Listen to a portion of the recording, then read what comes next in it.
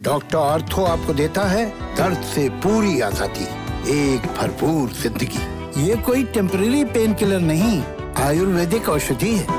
राम कदम जी आपकी पार्टी की अफरा तफरी की वजह से आप इस तरीके की स्क्रिप्ट तैयार कर रहे हैं। के लिए पहेली तैयार कर रहे हैं सीधा सीधा आरोप है। जी एक मिनट हाँ, उसको बचाने के लिए उसको बचाने के लिए भारतीय जनता पार्टी के नेता गिमिक्स कर रहे हैं। आप मुझे बताइए जाँच एजेंसी अच्छा। मुंबई में जाँच कर रही है एनआईए प्राइम प्राइम मिनिस्टर और होम ठीक मिनिस्टर है, से मिलने हाँ, की क्या ज़रूरत कह गिमिक कर रही है साहब हाँ। को मैं मैं कह रही हूँ गिमिक कर रही ठीक है। आप आप जो कह रहे हैं कि गिमिक कर रही है तो इस गिमिक में आप लोग कैसे आ गए? आपने परमवीर सिंह को फिर क्यों हटाया? फिर आपने वजह को बाहर का रास्ता क्यों दिखाया? ये आप राम कदम की गिमिक में कैसे फंस गए फिर? ये ये सरकार का हक है। अगर हमको लगता है कि किसी के कारण हमारी छवि नहीं खराब नहीं ये सरकार का आप ये कह रहे हैं कि इनकी पार्टी में जो टूट फूट मची हुई है उसके लिए इन्होंने एक स्क्रिप्ट। तैयार की है। ऐसी स्क्रिप्ट के मुंबई के कमिश्नर को हटाना पड़ जाता है। क्यों नहीं? क्यों नहीं हटाया जाएगा? अगर उसकी गलती है तो हटाया जाएगा। तो वही तो बोल रही हूँ तो मानिए ना आपकी गलती है। आप गलती को इधर उधर कहाँ थोप रहे हैं? कहा कहा किसने कहा कि नहीं? हम अपनी गलती नहीं मान रहे। गलती है ना? अब मुझे बताइए वो परमवीर सिंह की गलती क्या है जो आप बता नहीं रहे हैं? ये ये ऐसी कौन सी गलती है जो माफ़ी लायक नहीं है? मुझे बताइए आप। ये जवाब एनआईए देगा। नहीं नहीं एनआईए नहीं आप मुझे बताइए। आप देशमुख साहब को पता है। आपको भी पता है। मुझे बताइए वो कौन सी गलती है जो माफ़ी लायक नहीं है परमवीर सिंह की? जी आप हाईकोर्ट के खिलाफ बात कर रही हैं अभी। मैं हाईकोर्ट के खिलाफ नहीं जा रही हूँ। मैं अपने सवालों को बहुत समझदारी से पूछती हूँ। ब्रिजमोहन जी तो फिर अनिल देशमुख ने क्यों कहा कि ऐसी गलती है जो माफ़ी लायक नहीं है? क्या मतलब है इसका? नहीं नहीं आपको जी आपको हाईकोर्ट का कानून नहीं मालूम है। नहीं नहीं क्या कानून मालूम नहीं है मुझे? तो अनिल देशमुख को कानून मालूम है? तो उन्होंने ऐसा क्यों कहा फिर? सीडीआर की जानकारी उनको कैसे मिली? आप देवेंद्र फडणवीस से पूछिए। बताए वो देश को। उन्होंने ये ये सवाल आप राम कदम से पूछेगा आपको पूरा हक है। ब्रिजमोहन जी ये सवाल मैं मेरे पास इसका जवाब नहीं है और मैं इंटरेस्टेड भी नहीं हूँ उन सवालों का जवाब देने के लिए। मेरा सवाल ये है कि परमवीर सिंह ने वो कौन सी गलती की जो माफ़ी लायक नहीं थी? आप मुझे ये बताइए। हटा दिया हटा दिया। हटा दिया बहुत अच्छा किया प्रभु। हुक्म हुक्म बहुत अच्छा किया आपने। थैंक यू मैं ये बोल रही हूँ कि आप मुझे बताइए कि वो कौन सी गलती थी जो माफ़ी लायक नहीं थी? क्या किया था ऐसा उन्होंने?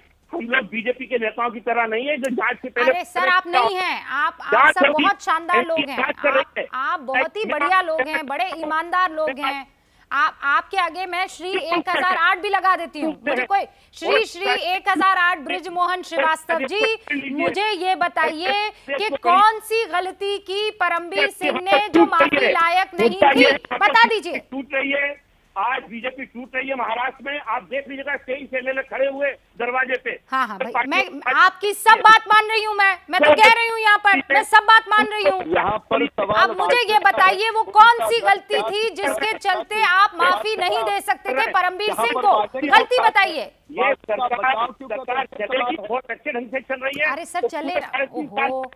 मैं मैं आपके लिए स्पेशली प्रेयर करूँगी ठीक है? मैं आपके लिए स्पेशली दुआएँ करूँगी कि आपकी सरकार लंबी चले अच्छी चले। ठीक है ब्रिजमोहन जी? अच्छा, आप मुझे ये बताइए हाँ आप मुझे ये बताइए कि ऐसी कौन सी गलती थी जिसके चलते परमवीर सिंह को हटाना पड़ा जो माफ़ी लायक नहीं थी? वो कौन सी गलती थी? रूबिका जी जो अधिकारी अपने से छोटे जूनियर ऑफिसर को नियंत्रित नहीं कर सकता है उसके लिए क्या किया जाए? आज आप चैनल पे बैठिए अगर आपका एक असिस्टेंट आदमी आपको रिज़ल्ट नहीं दे पा रहा है आप क्या करेंगी? Will you continue that man आप उसे हटाएँगे या नहीं हटाएँगे? कॉमन सेंस की बात है। इसमें कौन सी इस, इसमें कौन सा रॉकेट साइंस है जो भी रामदास आपकी दलील को मैं कहाँ ले जा रही हूँ? आपको पता है वाईसी पवार साहब के पास पूर्व जॉइंट कमिश्नर मुंबई पुलिस के रह चुके हैं। अभिन्न अंग। वाईसी पवार साहब इसके चलते मुंबई के पुलिस कमिश्नर को हटा दिया जाएगा कि तुमसे एक छोटा सा पुलिस का जो जवान था वो हैंडल नहीं किया जा सका। API API. एपीआई है ना? Assistant police inspector. वो महाराष्ट्र मुंबई में पैंतालीस हज़ार पुलिस कर्मी है जिसमें से दस हज़ार एपीआई है। हम्म, और दस हज़ार एपीआई में से एक इकलौता वजह है जो सीधे कमिश्नर को रिपोर्ट करते थे। ओहो अद्भुत।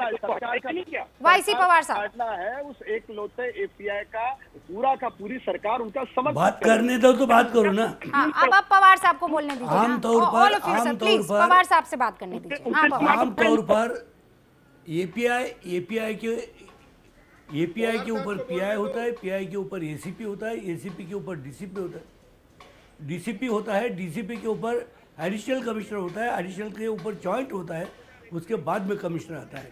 ये सारी A C P and above supervisory level है।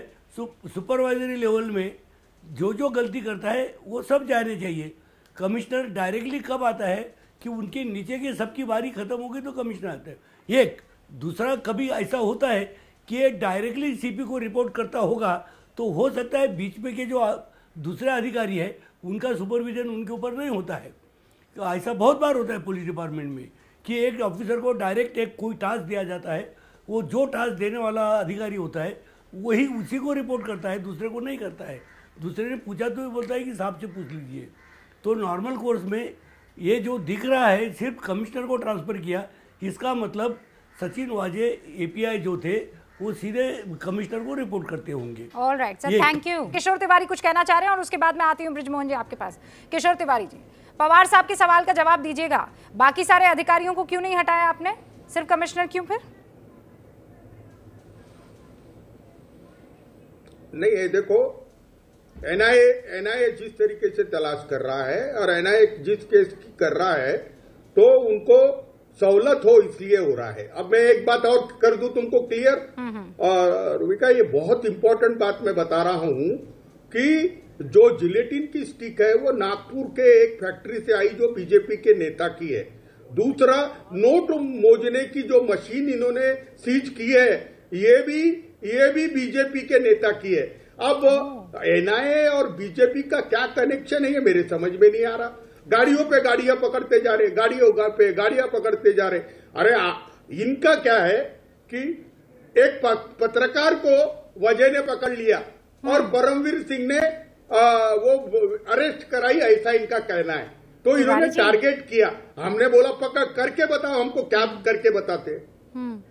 तिवारी जी वो पूछिए ना आप ये बहुत बड़ी बात कर रहा हूँ मैं। हाँ हाँ मैं पूछ लेती हमारा एटीएस तो बहुत आगे निकल गया था। आप तो zero zero seven James Bond को भी मात दे रहे हैं तिवारी जी।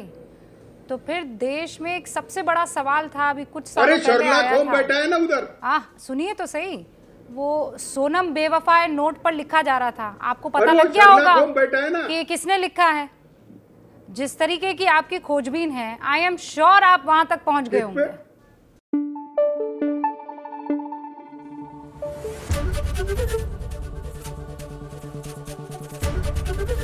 एबीपी न्यूज़ आपको रखे आगे।